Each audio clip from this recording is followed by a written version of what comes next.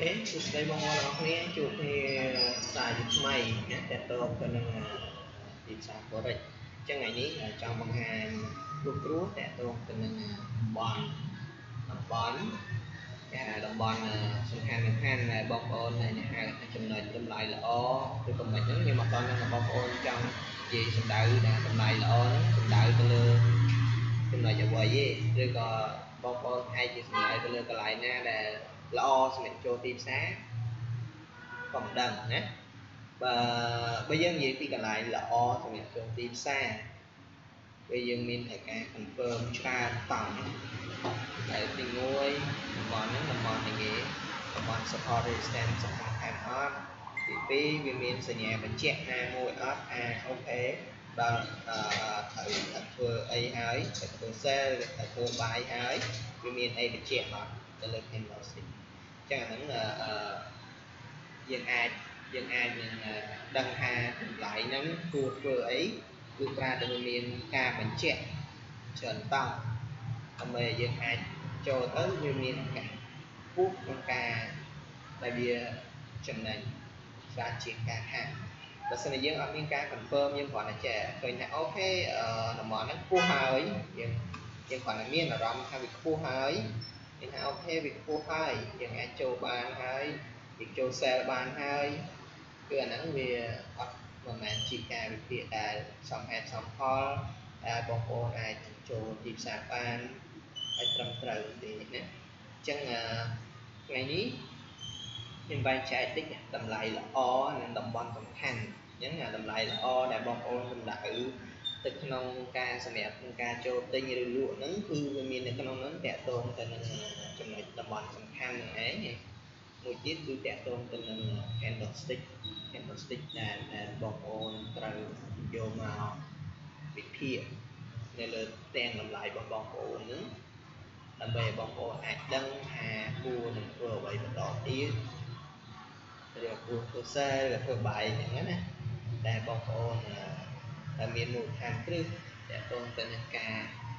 យល់ការដឹងអំពីចិត្តសាស្ត្រនៅខាងក្រោយ candlestick ទាំងអស់ហ្នឹងតើមានរឿងអីខ្លះនៅខាងក្រោយ candlestick ទាំងអស់ហ្នឹងតែគេចង់ប្រាប់យើងអីគេខ្លះហើយមានតនន័យអីគេខ្លះដែលដែលនៅក្នុង candlestick ទាំងអស់ហ្នឹងអាហ្នឹងវាស្ថិតនៅក្នុង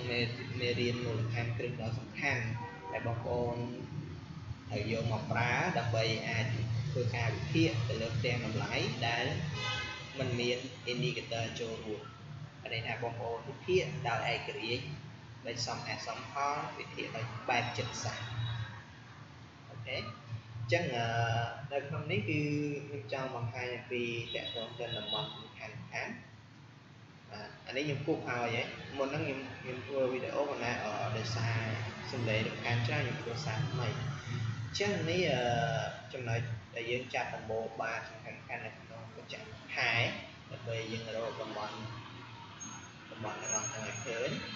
OK អញ្ចឹងយើងឃើញថាយើងចាប់ហើយយើងឃើញថាតម្លៃបច្ចុប្បន្នយើងងាកទៅមើលតម្លៃបច្ចុប្បន្នរបស់យើងនេះយើងដាក់នេះវាទៅចូលក្នុងឯស្គាល់ឯស្គាល់អញ្ចឹងទៅមើលឃើញ OK ចឹងយើងឃើញថាតម្លៃបច្ចុប្បន្ននេះវាចូលមកដល់តំបន់សំខាន់របស់យើងដែលយើងហៅថា major resistance ពីមុនវាជា support នេះដុំនេះវាជា support តែពេលបច្ចុប្បន្នវាខ្លាយទៅជា resistance window អញ្ចឹងវាដើរតួនាទីដូរតួនាទីវិញហើយអាតំបន់នេះពីមុនវាជា resistance ឥឡូវវាដើរតួជាតួនាទីជា support ថ្មីវិញណាអូខេអញ្ចឹងយើងឃើញណាយើងវិភាគនៅក្នុងការវិភាគទីផ្សារគឺយើងវិភាគវិភាគទៅលើតម្លៃបច្ចុប្បន្នយើងវិភាគទៅលើតម្លៃបច្ចុប្បន្នមិនមែនវិភាគទៅលើអតីតកាលអីទេយើងវិភាគពីអាថ្មីហ្នឹងមកណាយើងវិភាគអាថ្មីនេះកំពុងអដើរណាអញ្ចឹងឥឡូវតម្លៃមកដល់តំបន់ហ្នឹងត ម្លៃតម្លៃមកដល់តំបន់សំខាន់ហ្នឹងអ្វីដែលយើងត្រូវធ្វើមិនមែនអូទៅបាយឬ sell បងពីច្រើនព្រលឹមឡើងខ្ញុំតែងទទួលបានសារហ្នឹងបងបាយឬ sell បងទោះធ្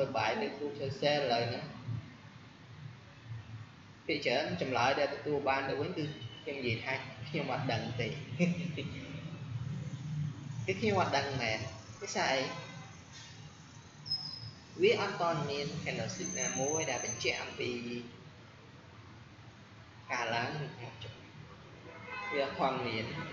យើងគាត់តែដឹងថាឥឡូវវាមកដល់តំបន់សំខាន់ហើយប៉ុន្តែតំបន់ហ្នឹងអត់តមាន candlestick ឬក៏ការបញ្ជាក់ណាមើលឥឡូវឧទាហរណ៍ថ្ងៃហ្នឹងណាថ្ងៃហ្នឹងមានយើងមើលមើលនេះមានរឿងកើតឡើងថ្ងៃហ្នឹង gap gap gap អឺវាវាបិទទីផ្សារបិទនៅតម្លៃ15.26បើកទីផ្សារនៅ15សាប៉ុន្តែវាគម្លាតស្បង់វានឹងចូលខ្ញុំបដូរនេះកុំឲ្យវាច្រឡំគ្នាជាមួយ support resistance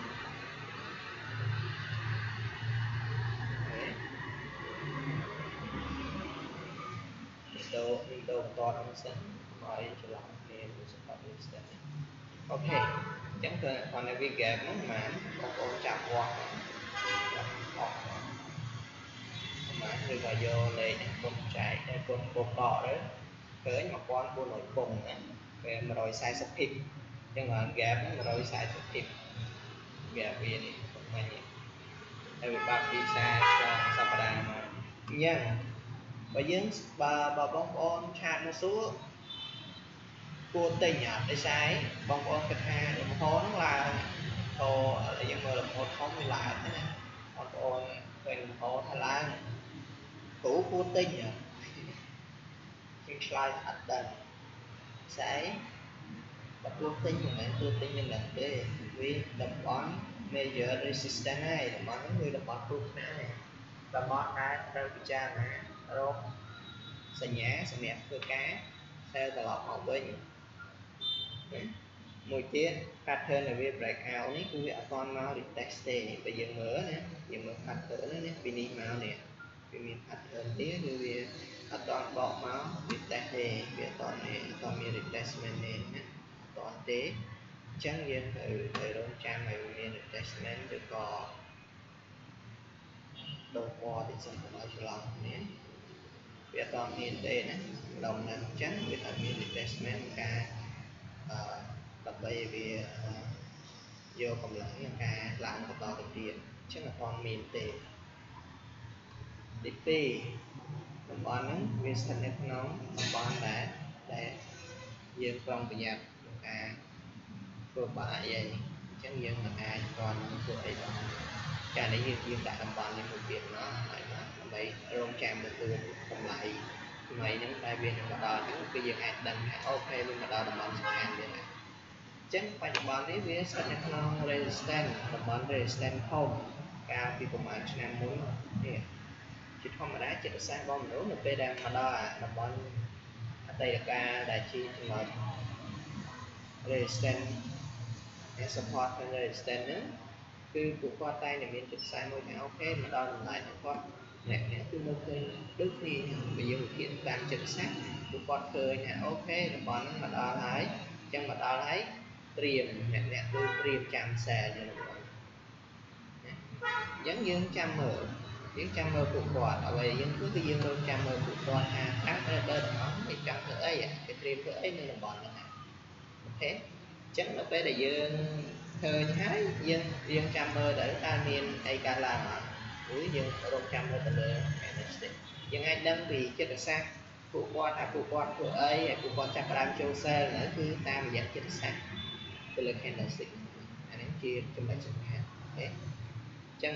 កុំឲ្យហួសហ្នឹងឥឡូវយើងមើលមកមើលចម្លើយខ្ញុំខ្ញុំឆ្លើយទៅបងប្អូនទាំងអស់គ្នាដែលគាត់តែងតែសួរថាអូបងកន្លែងហ្នឹងល្អសម្រាប់ធ្វើបាយធ្វើ share ឬក៏ hold long អីនៅទី1គឺខ្ញុំអត់អត់ស្នើឲ្យធ្វើការ hold ដែលមិនទាន់ដឹងគឺដៅច្បាស់លាស់ហើយយើង hold បើយើង hold ត្រូវ stop ជាមួយនឹងគឺដៅធំយើងគ្រាន់តែត្រូវលេង stop តាមទៅបាទតែចុះបើយើងហូរខាតយើងហូរខាតហើយយើងហូរតែអត់ច្បាស់លាស់ថាអូខេវាមកវិញទៅហើយពេលណាវាមកសំណួរតែតែសួរហើយពេលណាមកវិញគ្រូខ្ញុំក៏អត់ដឹងដែរខ្ញុំអត់ដឹងទេហើយពេលណាតើវាទៅបញ្ចប់ដល់វាទៅបញ្ចប់នឹងម្ដងខ្ញុំអត់ច្បាស់ទេ វាអត់មានភាពច្បាស់លាស់ប្រកបជា100%ទេនៅក្នុងទីផ្សារមួយនេះបងប្អូនត្រូវត្រូវកុំប្រកាន់ខ្ជាប់អា100%ហ្នឹងណាដូរចេញដូរដូរដូរអាទម្លាប់នៃការគិតនឹងចេញយើងគ្រាន់តែដឹងថាវាមកដល់ចំណុចតំបន់សំខាន់អ្វីដែលយើងធ្វើគឺយើងត្រូវរងចាំហើយរងចាំនេះយើងរងចាំមើលថាតើនឹងមានអីកើតឡើងឬក៏មានសញ្ញាអីដែលវាបញ្ជាក់ប្រាប់ថាវាដល់ពេលដែលវាត្រូវវិលត្រឡប់អូខេអញ្ចឹងអ្វីដែលខ្ញុំរងចាំមើលគឺខ្ញុំមើល candlestick ខ្ញុំរងចាំមើលឥឡូវយើងមើលណា4ម៉ោងចាប់ផ្ដើមចេញ candlestick នេះអញ្ចឹង candlestick ហ្នឹងគឺវាបញ្ជាក់ពីការអ្នកអ្នកដំបូងគឺអ្នកទិញចូលមករុញទីផ្សារឡើងរុញទីផ្សារឡើងហើយដល់1ម៉ោងចុងក្រោយនេះវាចាប់ផ្ដើមរុញទីផ្សារជំនួយអញ្ចឹង candlestick នេះបញ្ជាក់ថាម៉េចថា candle បន្ទាប់អាចនឹងចុះច្រើន ហើយវាសំហាសំផងមួយទៀតគឺតម្លៃដែលវាបើកមកគឺវាថាចុះមកបិទហ្គាប់ទៅទៅវាអាចនឹងបិទហ្គាប់ច្រើនតែខ្លះបើស្ថិតនៅក្នុងពាក់កណ្ដាលនៃលំហវាអាចនឹងអត់បិទហើយវាអាចទៅទៀតអញ្ចឹងក៏មានដែរតែនេះភាគរយខ្ពស់ភាសា candle មួយនេះហើយយើងទៅមើល H1 យើងមាន candle នេះដែរយើងមើលដែរអា3អា3នេះ បង្កើតទៅជា evening star ស្អាតទេ evening star ស្អាតប៉ុន្តែនៅក្នុង4ម៉ោងវាឃើញថា candle មួយនេះបញ្ជាក់ថាសម្ពាធនេះអ្នកលុបចូលមកយើងឃើញ candle ប្រកបហ្នឹងឃើញ candle ប្រកបចាប់ដើមចុះតិចតិចនេះអញ្ចឹងវាអាចនឹងចុះមកដល់តំបន់ដែល gap បិទនេះវិញអញ្ចឹង កុំកុំជាយើងពីព្រលឹមឡើងឬថ្ងៃចានមកគឺមិនតន់ដឹងអីផងចូលផ្សារវាក្នុងឆានសិនថ្ងៃថ្ងៃចាន skip បាន skip ទៅមិនទៅអីល្អមិនមិនធ្វើទៅគ្រាន់តែយើងអង្គុយមើលវិភាគពីខាងក្រែមកំផុំមកហើយអស់សិនទៅយើងរកខែពីវិភាគដែលយើងស្រឡាញ់នេះយើងវិភាគទៅណាអញ្ចឹងកន្លែងហ្នឹងគឺយើងរងចាំមើលទៀតថាវានឹងនឹងវិលត្រឡប់មកវិញបាន កម្រិតប៉ុណ្ណាអូខេអញ្ចឹងអានេះខ្ញុំគាត់ចង់ show បង្ហាញតាក់ទងបញ្យលឲ្យឲ្យឲ្យយល់តាក់ទងអាចំណុចដែលថាបងប្អូនតែនិយាយថាតម្លៃល្អតម្លៃល្អសម្រាប់ធ្វើលក់ឬក៏ធ្វើទិញហ្នឹងគឺយើងមានការគុំបញ្ចូលជាច្រើនមិនមែនថាអូមកដល់ចំណុចហ្នឹងហើយត្រូវតែធ្វើអីទេអត់ទេគឺយើងរងចាំរងចាំនេះរងចាំទៀតរងចាំការខាង លើណាអូខេអញ្ចឹងអានេះវីដេអូនេះក៏មិនបានត្រៀមទុកអីដែរគ្រាន់តែខ្ញុំធ្វើបកស្រាយចម្ងល់បងប្អូនដែលតែឆ្ងល់ទេអញ្ចឹងវាមានកលឹះផ្សេងផ្សេងចំណាត់ខាងផ្សេងទៀតដែលបងប្អូនត្រូវយកមកប្រើជាមួយខាងគ្រឹះសម្រាប់ធ្វើការវិភាគដូចជាតាមដានទៅលើទីផ្សារហ្នឹងគឺយើងត្រូវមានមូលដ្ឋានគ្រឹះច្រើនអញ្ចឹងនេះខ្ញុំគាត់ណាឧទាហរណ៍គ្រប់គ្រប់ទេ អរគុណច្រើនបងប្អូនទាំងអស់គ្នាដែលបានតាមដានទៅលើវីដេអូមួយនេះហើយជួបគ្នានៅវីដេអូបន្តបើមានចម្ងល់ហើយអាចតាក់ទងមកខ្ញុំបាន Facebook ខ្ញុំបានបៀនរតនាឈ្មោះបៀនរតនាតែម្ដងលើ Facebook ហើយបើបើតាក់ទងបាននេះអាចតាក់ទងលេខទូរស័ព្ទនេះក៏បានដែរលេខទូរស័ព្ទនេះដា